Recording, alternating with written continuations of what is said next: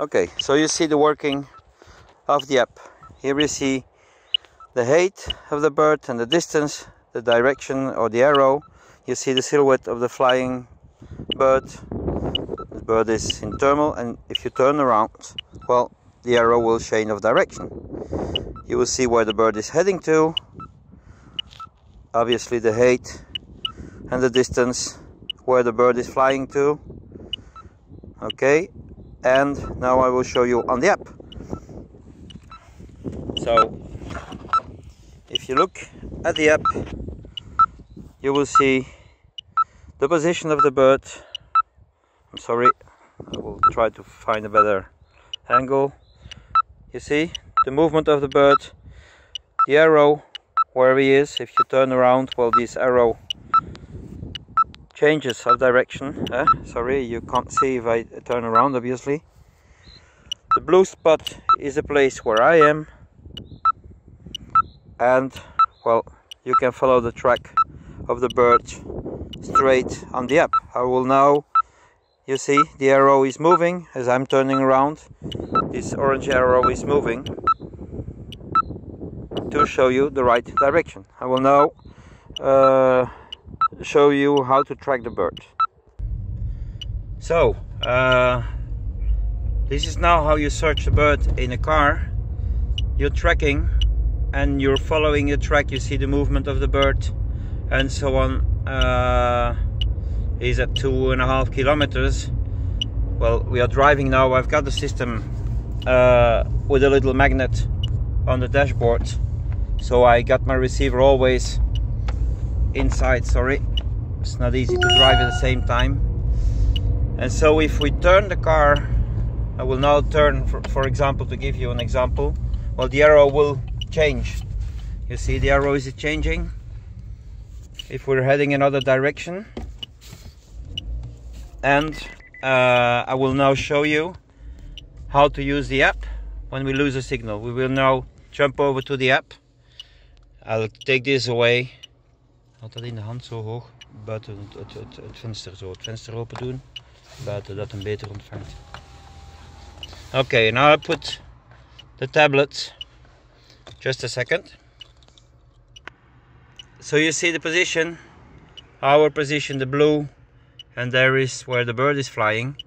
An interesting thing is uh, using the app is, uh, sorry, put it here the go-to feature. Uh, how to track if you lose a signal. Now we still have signal. If we put the um, speaker, but there is a go-to function. We will go a bit farther away and, and to show you how to work with the go-to function. So we're driving and we still have a signal. Bird is still flying, 282.8 kilometers. And uh, now I will show you how it works when you lose a signal. Okay? So I have to go at a longer distance. Okay and now well we lost the signal. There's no more beep. Uh, on the app and neither on the receiver because I unscrewed the antenna. We have a position on the receiver a last position memory that you can touch here. And you can see the last position but I was driving farther away. You can refresh this position and the arrow and see in which direction is the bird. Obviously I unscrewed the antenna so we lost the signal.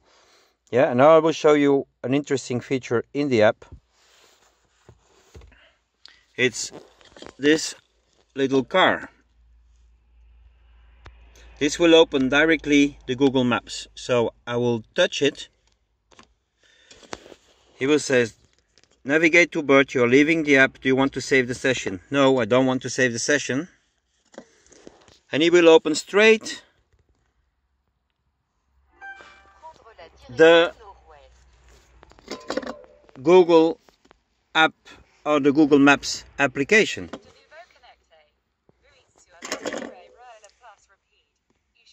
destination by 2003.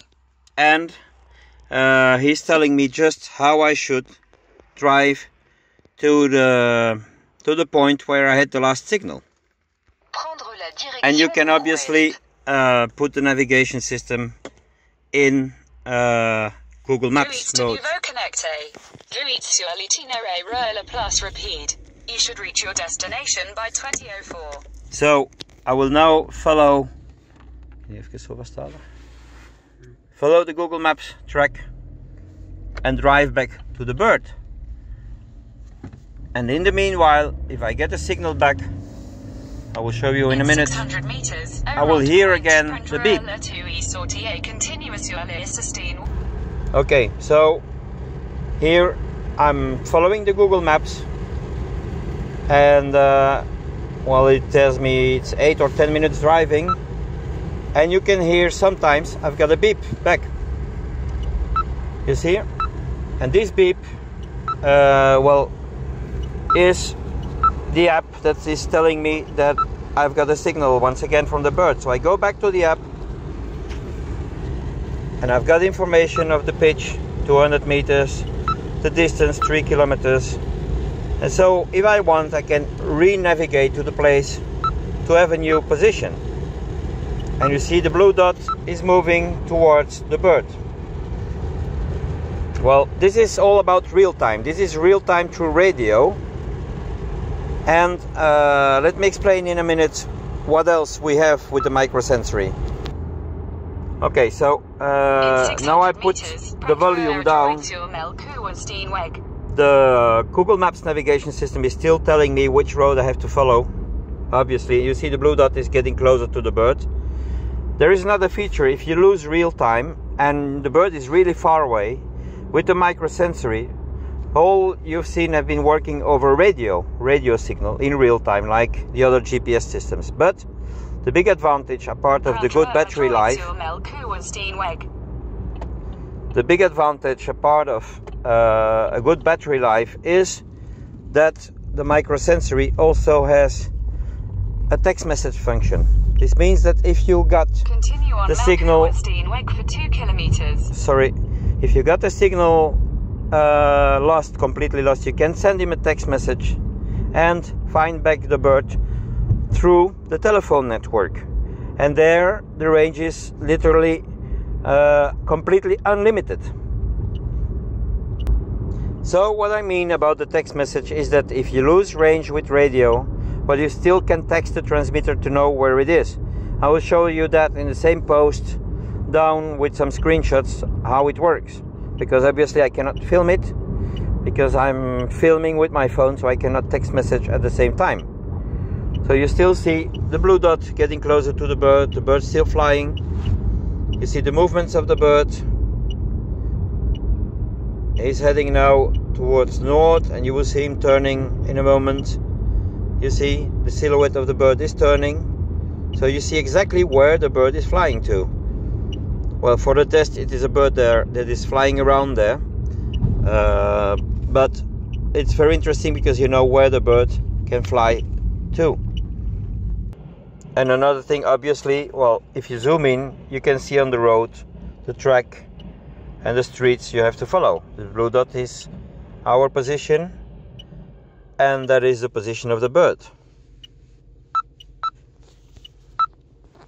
I put the volume back because so we can hear it, and still the arrow that you can follow the track of the animal. Be back with you in a second.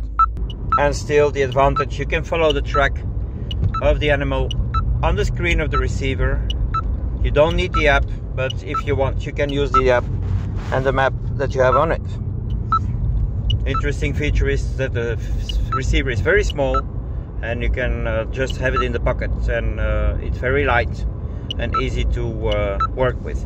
So he's telling me now he's on the right, so I'm going to drive to turn on the right and I'm going to head towards the bird. You will see the arrow will change in a second you see now the arrow is changing as I'm getting closer and the distance is getting less and also on the app you see the blue dot is getting closer to the bird and the distance is getting less. So it's very practical uh, also to know that this receiver combines also a radio receiver so it can work as a normal radio receiver. I will just show it you in a moment. I just have to push that button.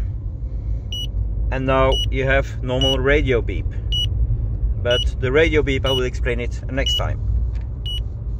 Go back to the satellite. Okay and it takes back the position I'm getting closer. Oh sorry. Not easy to film while driving. You see the blue dot is getting closer to the bird. I'm following just this road. And the bird still flying. And we're getting closer 600 700 660 meters.